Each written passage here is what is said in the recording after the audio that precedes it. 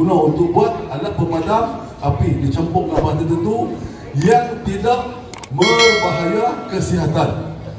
Dia tidak berbahaya kesihatan tetapi dia bukan bersifat makanan. Kita tak boleh makan. Mak pak cik tu kata dia tak bahaya makanan kita buat kita buat cucuk ah, tak boleh. Ha? Tak boleh buat cucuk tepung-tepung ni kalau boleh elak kita elak. Dia aman aman aman aman, aman mudah untuk padam kebakaran.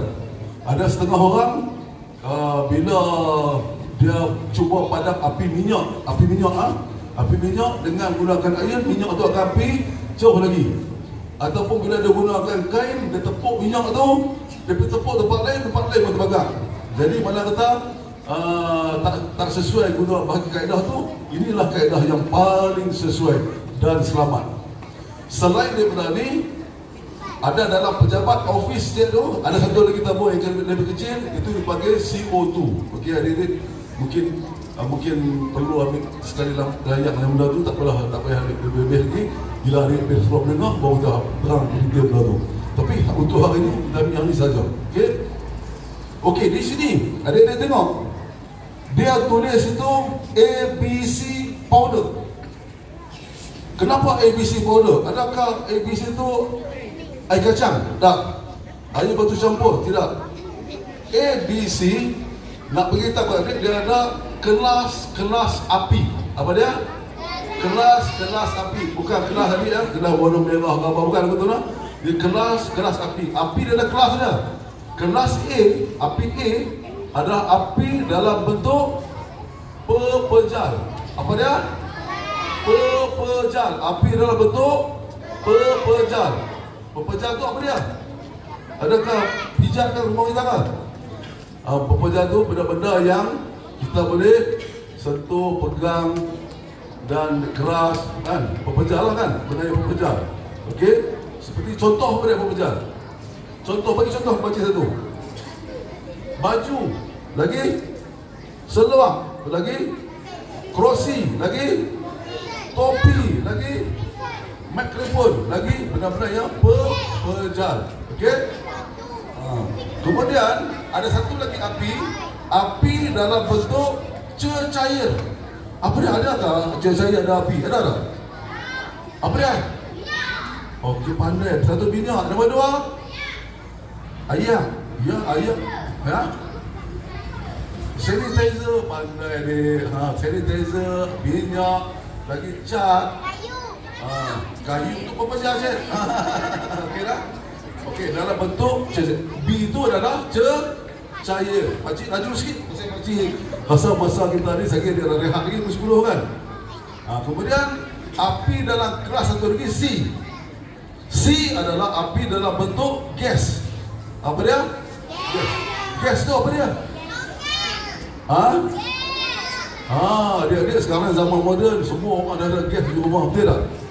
Gas masa api saya dulu masa zaman pak cik dulu ni pakai kayu. Lepas kayu dia moden sikit naik arang. Lepas arang dia moden sikit naik minyak minyak tanah. Kalau ni minyak tanah tak tahu cerita mana dah.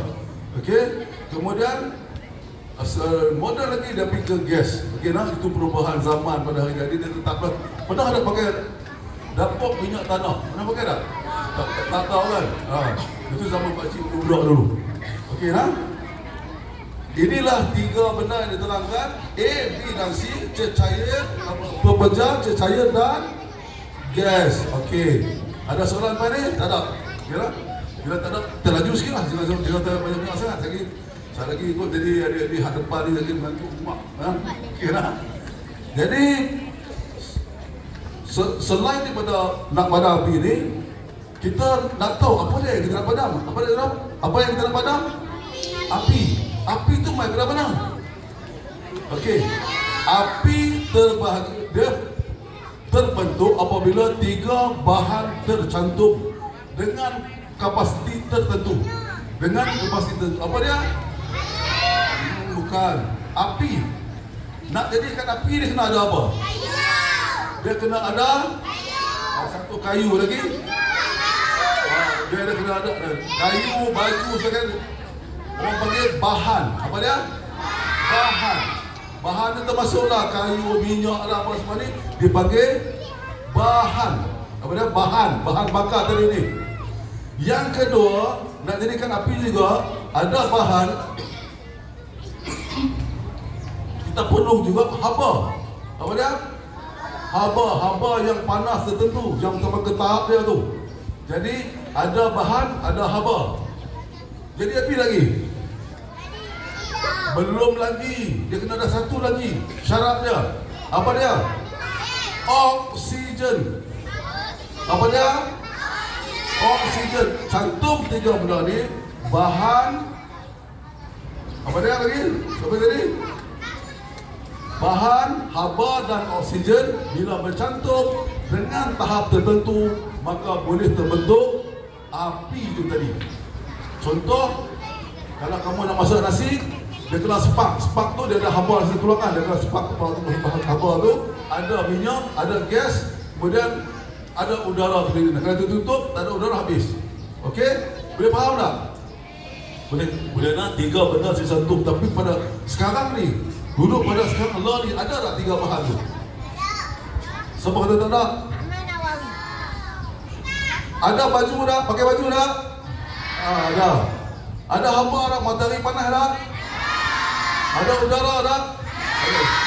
Kenapa tiga bahan contoh ni tak ada pun, tak backup pun, malah steady je tu? Sebab dia tak sampai ke tahap tertentu dia tu. Tahap dia tu. Okey? Tahap dia untuk nak menjadi terbakar. Kalaulah cikgu ada dia ajak ambil kanta, suluh matahari, tikam lagi tu, dia naik, naik kena, kena ke teh, keluar asap sikit bakar. Ada ada dua ajak tu? Ha? Cuba tak aja. Dulu kecil kecil ajar lah tu. Ada lah. Dia akan naik situ dia boleh jadikan satu bahan dia boleh terbakar. Bila dah dah mula bakar, dia dah panas, dia semakin panas, semakin panas. Jadilah seperti ini Kalimantan kalau ni dah sampai Jurung dah sampai ke sini. Ha, dia dah sampai tahap yang cukup heavy dah, cukup cukup besar. Okey. Kita dah tahu tentang alat pada api, kita dah tahu tentang uh, cara nak jadikan api. Nak cerita lagi satu, bagaimana cara nak padam dia? Padam dia, dia dia ada tiga cara nak jadi api, tiga cara juga cara kita nak padam dia. Cara yang pertama melalui bahan. Kita dapat macam mana? Ha? kita bahan ni adalah bahan makanan, makanan api bahan. Makanan kita nasi. Kalau kita tak makan nasi, apa jadi? Lapak kan? Sagi ke 10 ribu tadi ke nasi. Lapak tak? Lapak. Tengah hari nak balik letih. Makin petang ni lagi letih. Betul tak? Jadi api pun macam tu juga. Kalau dia tak makan, dia akan lapar. Kita kaedah ada kita guna kalau dalam bahasa bomba dipanggil melaparkan. Kita buang bahan makanan dia tu. Boleh? Faham tak? Okey, tak faham, tak faham, tak faham. Kita buat-buat faham. Jadi kita pergi depan tu, kita pergi terang dan jadi faham lagi. Okey tak? Yang kedua, kaedah yang kedua, daripada unsur bahan tadi kepada unsur haba. Macam mana kita nak pada gunakan unsur haba? Bahan baru dah, kita nak buang. Bahan tu bengkak tu, kita buang. Kita nak guna padam juga. Kita guna, kita haba tadi dapat sifat Haba ada bersifat apa dia? Panas. Apa dia? Haba tu bersifat panas. Bila panas kita nak kena bagi dia sejuk. Apa dia? Sejuk. Bagi dia sejuk. Macam mana cara bagi sejuk? Guna apa? Guna guna apa? Air. Guna air kan? Kita bagi sejuk. Kita guna air. Macam siapa dia yang guna air di situ? Siapa kena guna? Kalau di rumah tu ambil ayam timba corok pun boleh kita boleh lah pakai kan kalau api-api kecil kalau dah besar siapa dia guna air? Pihak bom bomba bomba bomba. Dia bila dia mai tu dia bawa sekali dengan itu air satu tangki. Okey? Sekurang-kurangnya dia boleh padam antara 5 hingga 10 minit. Cukup untuk nak mengawal sekitaran sementara nak dapat sumber air yang baru. Okey boleh tak? Habis dah yang kedua, masuk yang ketiga. Kalau selain hamba pun tak boleh, air pun tak ada, kita guna kaedah yang ketiga. Iaitu cara, kalau adik-adik bernyawa, tiba-tiba oksigen tak ada. Oksigen, adik-adik akan rasa apa? Udara tak ada? Rasa lemas. Adik-adik tak usah banyak lah Duduk dalam kereta sudah tutup cermin semua Dia akan rasa lemas Betul tak? Bahkan ada berlaku kematian Kalau tutup semua cermin itu Sebab apa? Udara dalam kereta tu dah habis Okey? Udara jangan jangan sekali-kali duduk dalam kereta tutup semua cermin bagi rapat. Buka sikit untuk ruang udara masuk. Okey? Banyak kes tinggal tinggal anak-anak dalam kereta tutup cermin bagi rapat. Orang taman pakcik pun ada satu. Satu kes. Okey nah? Jangan berlaku begitu sebab udara dalam tu dia akan habis. Bila habis, pakai aircon pula dia akan masuk ke monosida lah apa semua dalam tu dia rasa sejuk-sejuk balik menguap-menguap jalan tidur tidur terus nak mati cara mudah itu cara dia okey nah kita uh, kita kita uh, tak perlu sembang banyak sangatlah sebab hari-hari ni pun peringkat Allah Allah Allah ni dia nak pesan santai kan.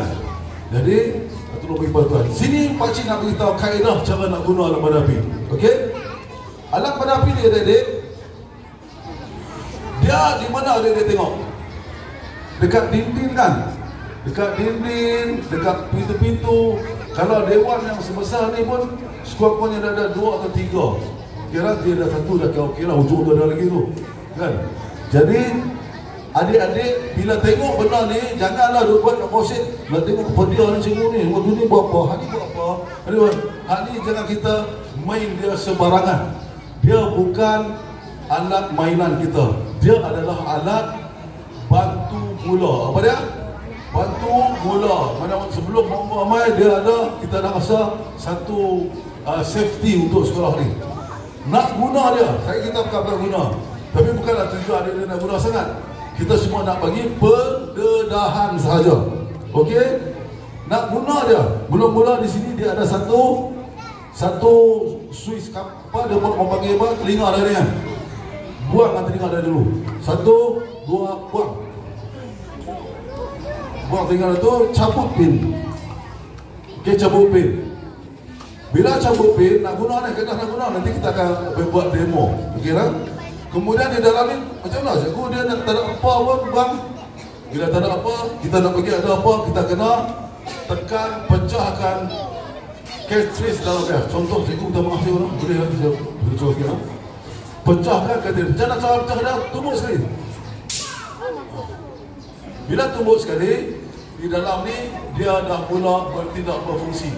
Dia dah mula berfungsi dan kita boleh buat satu uh. Jangan kita pegang pegang lereng tu terus dia akan keluar automatik. Cikgu lah sikit aja mana. Itulah itulah dipanggil dipanggil uh, powder tu tadi. Okey?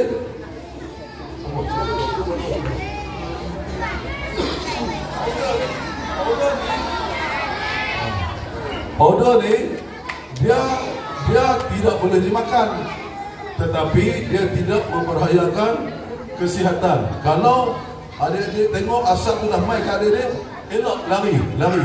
Lari di mana dia. Jangan pergi sedut dia tu. Sebab dia tak sesuai lah untuk untuk sistem badan kita. Cuma dia tak bahaya sangat. Kan? Dia tak sesuai. Dia badan kita akan buang. Macam tu dia dengan uh, udara kita ni dia ada satu gas nitrogen yang banyak. Tapi kita tak pakai dia kita buang.